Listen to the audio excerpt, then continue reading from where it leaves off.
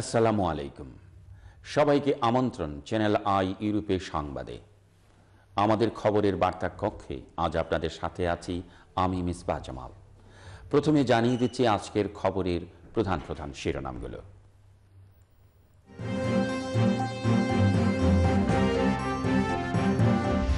বেগম খালেদা জিয়া ব্যক্তিগত সফরে লন্ডনে। বর্ণাঢ্য আয়োজনে এটিএন বাংলা ইউরোপের দশক পূর্তি উদযাপন।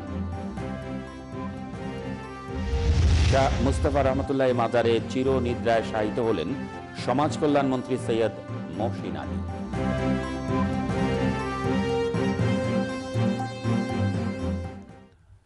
শুনছিলেন আজকের খবরের প্রধান শিরোনামগুলো। এবারে চলে যাচ্ছে আজকের বিস্তারিত সংবাদে। আজ বুধবার সকালে লন্ডনে এসে পৌঁছেছেন বিএনপি চেয়ারপারসন বেগম খালেদা জিয়া। তাকে তার পুত্র তারেক রহমান এবং পরিবারের অন্য সদস্যরা। এ সময় সাবেক এই প্রধানমন্ত্রীকে স্বাগত জানাতে বিমানবন্দরের বাইরে যুক্তরাজ্য বিএনপি ও অঙ্গ সংগঠনের বিপুল সংখ্যক নেতাকর্মী উপস্থিত ছিলেন। বিমানবন্দর থেকে বেগম খালেদা জিয়াকে তারেক রহমান নিজে গাড়ি চালিয়ে বিমানবন্দরের পাশে সফিটেল হোটেলে নিয়ে যান। যুক্তরাজ্য বিএনপির পক্ষ থেকে জানানো হয় বেগম জিয়া স্বাস্থ্য, চিকিৎসা ও পারিবারিক সফরে যুক্তরাজ্যে এসেছেন। তারপরও তিনি যুক্তরাজ্য বিএনপির নেতাকর্মী ও প্রবাসীদের সাথে মত বিনিময় করবেন। খালেদা জিয়ার লন্ডন আগমন উপলক্ষে আরাফাত রহমানের স্ত্রী ও তার দুই মেয়ে কয়েকদিন আগে মালয়েশিয়া থেকে লন্ডনে এসে পৌঁছেছেন। বেগম জিয়া পরিবারের সদস্যদের সাথে আসন্ন পবিত্র ঈদুল আজহা লন্ডনে উদযাপন করবেন বলে জানা গেছে। এদিকে বেগম জিয়ার সফর ঘিরে বিমানবন্দরে বিক্ষোভ প্রদর্শন করেছে যুক্তরাজ্য আওয়ামী লীগ ও তার অঙ্গ সংগঠনের নেতাকর্মীরা। বিক্ষোভে নেতৃত্ব দেন যুক্তরাজ্য আওয়ামী লীগের সভাপতি সুলতান মাহমুদ শরীফ ও সাধারণ সম্পাদক সৈয়দ সাজিদুর রহমান ফারুক।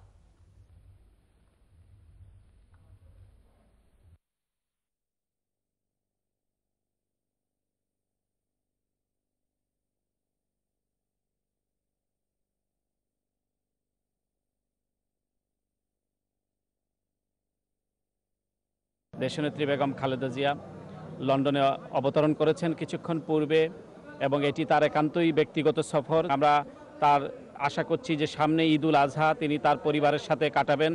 আপনারা জানেন যে তার ছোট ছেলে আরাফাত রহমান তিনি ইন্তেকাল করেছেন, তার পরিবারের সদস্যরাও আছেন এবং তার বিএনপি সিনিয়র ভাইস চেয়ারম্যান জনাব তারেক রহমান, তারপরে তার স্ত্রী আছেন এখানে এবং তার কন্যা। জায়মা। তো একটি পারিবারিক, মূলত এটি একটি পারিবারিক সফর এবং ওনার একটি চিকিৎসার একটি ব্যাপার প্রায়োরিটি সেখানে পাচ্ছে। এবং তার এখানে অবস্থানকালীন সময় তিনি পারিবারিক সান্নিধ্যেই কাটাবেন। তবে এই সফরটি অত্যন্ত তাৎপর্যপূর্ণ। যেহেতু উনি একজন রাজনৈতিক ব্যক্তিত্ব এবং প্রধানতম ব্যক্তিত্ব, কিছু রাজনৈতিক কর্মসূচিও থাকাটাই স্বাভাবিক বলে আমি মনে করি। আমরা সবচেয়ে যে জিনিসটা মেসেজ দিতে চাচ্ছি আপনাদের মাধ্যমে এই গোটা প্রবাসী বাংলাদেশের যুক্তরাজ্যস্থ এবং ইউরোপের সকল নেতৃবৃন্দ যারা এখানে গতকালকে আমাদের সাথে অনেকের সাথে দেখা হয়েছে, ম্যাডামের আগমন শুনে সকলেই আনন্দিত যে ম্যাডামের সাথে সাক্ষাৎ করবে, ম্যাডামের সাথে কথাবার্তা বলবে এবং গোটা প্রবাসীরাই অপেক্ষা করতেছে ম্যাডামের কথা শোনার জন্য। তো ইনশাল্লাহ সেগুলো আপনার পরবর্তীতে জানবেন।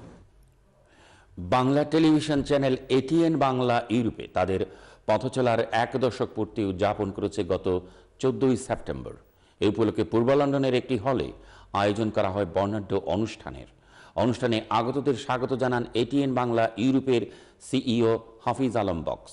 তিনি সবার কাছে কৃতজ্ঞতা প্রকাশ করেন এবং বিগত দিনের ন্যায় কমিউনিটির মানুষের সহযোগিতা অব্যাহত রাখার অনুরোধ জানান। অনুষ্ঠানে অতিথি হিসেবে উপস্থিত ছিলেন যুক্তরাজ্যে নিযুক্ত বাংলাদেশের রাষ্ট্রদূত Mohammad Abdul Hannan, tower হ্যামলেটসের mayor John Biggs, press minister Nadim Kadir Biman বাংলাদেশের country manager Shafiqul Islam BCA president Pasha Khandaker London Bangla press ক্লাবের সভাপতি নবাবুদ্দিন ইউকে বাংলা প্রেস ক্লাবের আহ্বায়ক ও চ্যানেল আই ইউরোপের ব্যবস্থাপনা পরিচালক রেজা আহমেদ ফয়সল চৌধুরী শুয়েব চ্যানেল এস এর সিইও তাজ চৌধুরী এটিএন বাংলার সুফি মিয়া প্রমুখ। এছাড়াও অনুষ্ঠানে রাজনৈতিক, সামাজিক ও সাংস্কৃতিক সংগঠনের নেতৃবৃন্দ ও এটিএন বাংলা ইউরোপের শুভানুদায়ীরা অংশ নেন। অনুষ্ঠানে বিলেতের বিখ্যাত শিল্পীদের অংশগ্রহণে মনোজ্ঞ সাংস্কৃতিক অনুষ্ঠান অনুষ্ঠিত হয়।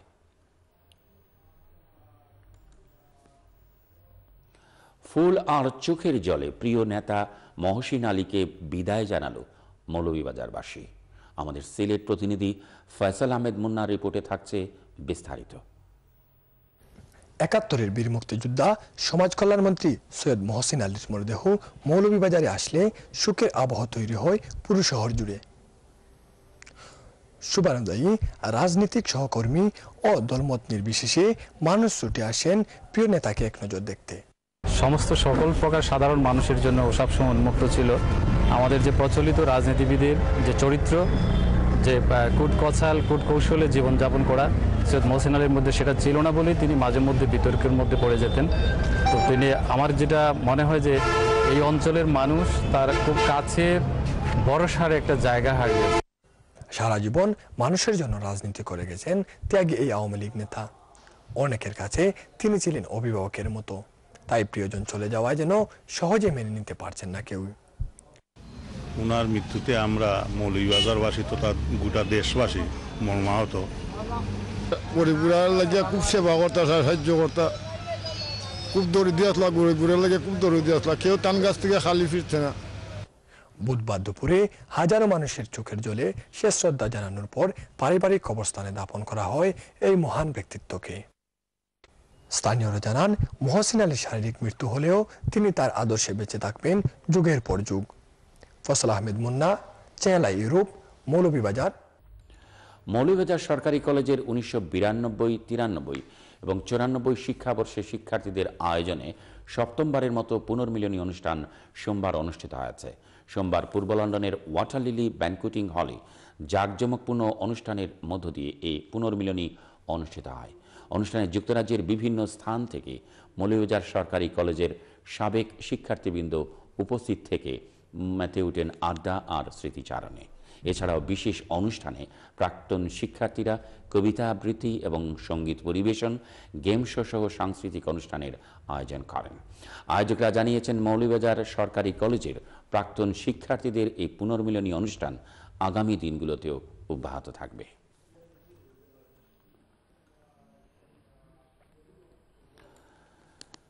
সোমবার গ্রেটার বড়লেখা অ্যাসোসিয়েশন ইউকের উদ্যোগে সাধারণ সভা সংগঠনের আহ্বায়ক আহমেদ জুবাইর লিটনের সভাপতিত্বে অনুষ্ঠিত হয়।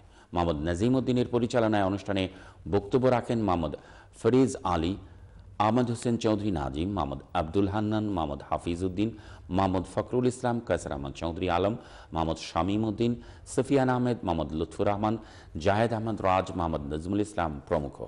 সবাই বড়লেখা ও জুরি প্রবাসী সবাইকে সংগঠনের সদস্য হয়ে ঐক্যবদ্ধভাবে কাজ করার আহ্বান জানানো হয়।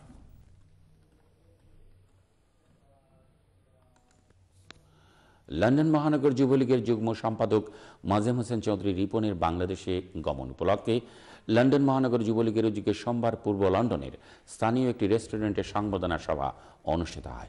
লন্ডন মহানগর যুবলীগের সভাপতি তারেক আহমেদের সভাপতিত্বে অনুষ্ঠিত সভায় উপস্থিত ছিলেন যুবলীগ নেতা শেখ নুরুল ইসলাম জিতু, মাহমুদ আলী, ফয়সাল হোসেন সুমন, আজাদুর রহমান, মহসিন তালুকদার, জুবাইর আহমদ সেলিম, শাহ মিনার আলী, আজিজুল আম্বিয়া ও আনোয়ার হোসেন আমজাদ হোসেন সহ প্রমুখ।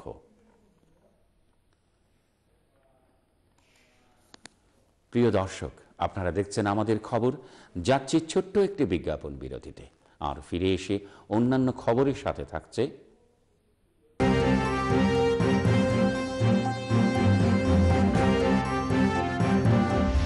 সাবেক আইজি হাসান মাহমুদকে স্পেনে রাষ্ট্রদূত নিয়োগ দেওয়ার প্রতিবাদে বিক্ষোভ। সুইজারল্যান্ডের জুরিকে শেষ হল জুরিকের সবচেয়ে পুরনো লোকজ উৎসব।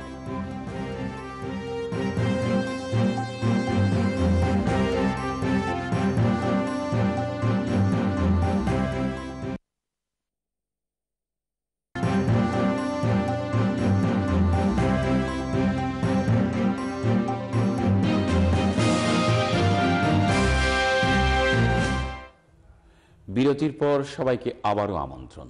সাথে থাকার জন্য ধন্যবাদ। রেবের সাবেক ডিজি ও পুলিশের সাবেক আইজি হাসান মাহমুদ খন্দকারকে স্পেনে বাংলাদেশের রাষ্ট্রদূত নিয়োগ দেওয়ার প্রতিবাদে বিক্ষোভ করেছেন প্রবাসী বাংলাদেশিরা। আমাদের মাদ্রিদ প্রতিনিধি বকুল খান জানিয়েছেন, মঙ্গলবার স্পেনের পররাষ্ট্র মন্ত্রণালয়ের সামনে ইউরোপের সচেতন প্রবাসীদের ব্যানারে খন্দকার হাসান মাহমুদের নিয়োগ বাতিলের দাবিতে বিক্ষোভ ও স্মারকলিপি দিয়েছেন ইউরোপের প্রায় পনেরোটি দেশের প্রবাসী বাংলাদেশিরা। স্পেন বাংলাদেশি কমিউনিটি নেতা খোরশেদ আলম মজুমদারের সভাপতিত্বে ও আব্দুল কাইয়ুম পঙ্খির পরিচালনায় এ সময় বক্তব্য রাখেন M A Taher, Kamrul Hasan Johnny, Mohiuddin Jintu, Mannan Hira, Saifur Rahman, Shamima Akter Ruby, Momtaz Alo, Sirajur Rahman, Moinuddin, Mamun হাজারি শরীফউদ্দিন ইকবাল হোসেন বাবু, আফরুজা রহমান প্রমুখ। এছাড়া ব্রিটেন, বেলজিয়াম, ইটালি সহ ইউরোপের বিভিন্ন দেশের বাংলাদেশি কমিউনিটি নেতারা এ সময় বক্তব্য রাখেন। সুইজারল্যান্ডের জুরিখে শেষ হল জুরিকের সবচেয়ে পুরাতন লোকজ উৎসব ক্যানাবেন সিচেন। বিস্তারিত জানাচ্ছেন আমাদের সুইজারল্যান্ড প্রতিনিধি বাকিউল্লাহ খান রিপন। সাড়ে ছয় শত বছরের পুরনো উৎসব তীর, ধনুক আর তীরন্দাস কেনাবেন সিসের নামে সুইজারল্যান্ডের জুরিক প্রশাসনের নিয়ন্ত্রণে আঠারোশো নিরানব্বই সাল থেকে জুরিক ক্যান্টনের অন্যতম লোকজ উৎসবে পরিণত হয়েছে। তিন দিন ব্যাপী প্রশাসন নিয়ন্ত্রিত সর্বাধুনিক স্বয়ংক্রিয় মিলিটারি রাইফেলের এই শুটিং প্রতিযোগিতায় এবারে সাড়ে চার হাজারেরও বেশি কিশোর কিশোরী অংশগ্রহণ করে। জুরিক ক্যান্টনে বসবাসরত অথবা জুরিকের কোনো স্কুল, কলেজে অধ্যয়নরত তেরো থেকে সতেরো বছরের বালক বালিকারাই কেবলমাত্র এই প্রতিযোগিতায় অংশগ্রহণ করতে পারে। উনিশশো একানব্বই সালের পূর্ব পর্যন্ত কেবলমাত্র ছেলেরাই এই প্রতিযোগিতায় অংশগ্রহণ করতে পারত। তাই এই শুটিং প্রতিযোগিতার নাম ছিল কেনাবেন শিসেন বা কিশোর বালকদের শুটিং। এবারের এই শুটিং প্রতিযোগিতায় কিশোরী মেয়েদের অংশগ্রহণের সংখ্যা হাজারেরও বেশি। একানব্বই এর পর থেকে এ পর্যন্ত ছয়জন মেয়ে এই প্রতিযোগিতায় চ্যাম্পিয়ন হয়ে রানীর মুকুট ছিনিয়ে নেয়। এবারের শুটিং রানী মারিয়া গিজার পুরো পঁয়ত্রিশ পয়েন্ট পেয়ে আগামী এক বছরের জন্য মুটুক পরিধান করার সম্মান অর্জন করেন। লক্ষাধিক দর্শক উপস্থিত ছিল এবারের এই উৎসবে। উৎসবে সর্বাধুনিক রাইড আর সাংস্কৃতিক অনুষ্ঠান সহ শিশু, কিশোর এবং বড়দের জন্য বিভিন্ন ধরনের বিনোদনের ব্যবস্থা থাকে। প্রবাসী বাংলাদেশিরাও এই উৎসব উপভোগ করেন অত্যন্ত আনন্দের সাথে। শুটিং করেছি গিফটও পেয়েছি এ- প্রতি বছরই আসো এখানে হ্যাঁ ইনশাল্লাহ আল্লাহ বাচ্চা করলে নেক্সট বছরে আমি আসবো It's a great, uh, great festival, and uh, when when I was younger, so 17 years, uh, uh, 16 years old, and then I could uh, shoot there, but now I'm too old. I can't shoot anymore. So I go to the other stuff like uh, the roller coaster or free fall tower. Shooting প্রতিযোগিতায় সবাইকে উপযুক্ত করে গড়ে তুলতেই এই উৎসবের আয়োজন। Bakiullah Khan Ripon channel I কেনাবেন শিখছেন জুরিক সুইট। বাংলাদেশ জাতীয়তাবাদী দল বলনিয়া শাখা স্থানীয় একটি হলে আয়োজন করে দলের প্রতিষ্ঠা বার্ষিকীর আলোচনা সভা। বলনিয়া থেকে বিস্তারিত জানাচ্ছেন ইতালির বিশেষ প্রতিনিধি এমদাদুল হক এমদাদ। উনিশশো আটাত্তর সালে শহীদ রাষ্ট্রপতি জিয়া রহমান বাংলাদেশ জাতীয়তাবাদী দলের প্রতিষ্ঠা করেন। বেশ কয়েকবার দলটি ক্ষমতায় আসলেও বর্তমান আওয়ামী সরকার দল যেন ক্ষমতায় না আসতে পারে, তাই নেতাকর্মীদের মিথ্যা মামলা দিয়ে জেলে বন্দি করে রেখেছে। এখন দল গুছিয়ে আবার আন্দোলনের প্রস্তুতি নেওয়াই দলের মূল লক্ষ্য বললেন বাংলাদেশ জাতীয়তাবাদী দল বলনীয় শাখা আয়োজিত সাতত্রিশতম প্রতিষ্ঠাবার্ষিকীর আলোচনা সভায় বক্তারা। গত শনিবার সন্ধ্যা স্থানীয় এক হলে বাংলাদেশ জাতীয়তাবাদী দল বলনীয় শাখার প্রতিষ্ঠাতা ও বর্তমান আহ্বায়ক ফজলুর রহমান আলমের সভাপতিত্বে আহ্বায়ক কমিটির সদস্য ফজলুল বাড়ির পরিচালনায় বক্তব্য রাখেন প্রতিষ্ঠাতা সাধারণ সম্পাদক আহ্বায়ক কমিটির সদস্য সচিব বজলুর রশিদ পল্টু, সরাসরি ভোটে নবনির্বাচিত সভাপতি আতিকুল ইসলাম ভুইয়া মামুন, বলনিয়া শাখা বিএনপি সাবেক সাধারণ সম্পাদক ও এবিসি সাধারণ সম্পাদক হাবিবুর রহমান সোহেল এবিসি সিনিয়র সহসভাপতি ও সাবেক সাধারণ সম্পাদক আনোয়ার হোসেন, নবগঠিত কমিটির সিনিয়র সহসভাপতি মামুন হোসেন শ্যামল, আহ্বায়ক কমিটির সদস্য বাবু খান, হুমায়ুন কবির লিটন, মীর আবু বক্কর সিদ্দিক হিরু, সহসভাপতি নুরুল আমিন সজল। এছাড়া উপস্থিত ছিলেন এবিসি সাংগঠনিক সম্পাদক ও আহ্বায়ক কমিটির সদস্য শহীদুল ইসলাম, আব্দুল আলিম, বিএনপি সহসভাপতি মনির হোসেন আহ্বায়ক কমিটির সদস্য শাহ আলম, বিএনপি সহসভাপতি ইকরাম হোসেন মামুন, যুগ্ম সাধারণ সম্পাদক ইনুস আলী, আহ্বায়ক কমিটির সদস্য জামিরুল ইসলাম চন্দন সহ আরও অনেক শহীদ জিয়া সৈনিক। বক্তারা আরও বলেন, সকল ভেদাভেদ ভুলে গিয়ে সবাইকে ঐক্যবদ্ধভাবে আন্দোলনের প্রস্তুতি গ্রহণ করতে হবে। ইতালি বলোনিয়া থেকে এমদাদুল হক এমদাদ, চ্যানেল আই। সিলেট জেলা ক্রীড়া সংস্থার সাধারণ সম্পাদক মাহিউদ্দিন সেলিম বলেছেন, খেলাধুলায় সিলেট এখন পিছিয়ে নেই। সিলেট ব্যাডমিন্টন একাডেমির চ্যাম্পিয়নশিপ দু হাজার সমাপনী ও পুরস্কার বিতরণী অনুষ্ঠানে প্রধান অতিথির বক্তব্যে তিনি কথা বলেন। পুরস্কার বিতরণী অনুষ্ঠানে সিলেট ব্যাডমিন্টন একাডেমির পরিচালক শিব্বির আহমেদের সভাপতিতে ও সাংবাদিক ফয়সাল আহমেদ মুন্নার পরিচালনায় বিশেষ অতিথির বক্তব্য রাখেন ক্রীড়া ব্যক্তিত্ব Sabbir Ahmed Rolek A K M Nazrul Islam, যুক্তরাজ্য প্রবাসী আব্দুল হাকিম, মুসাদ্দেক হোসেন সাজুল, তারেক আহমেদ চৌধুরী প্রমুখ।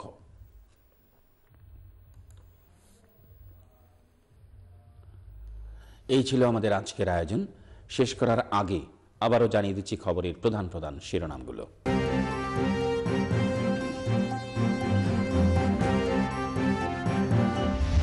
বেগম খালেদা জিয়া ব্যক্তিগত সফরে লন্ডনে। বর্ণাঢ্য আয়োজনে এটিএন বাংলা ইউরোপের দশক পূর্তি উদযাপন। শাহ মুস্তফা রহমতুল্লাহ মাজারে চিরনিদ্রায় শায়িত হলেন সমাজ কল্যাণ মন্ত্রী সৈয়দ মহসিন আলী।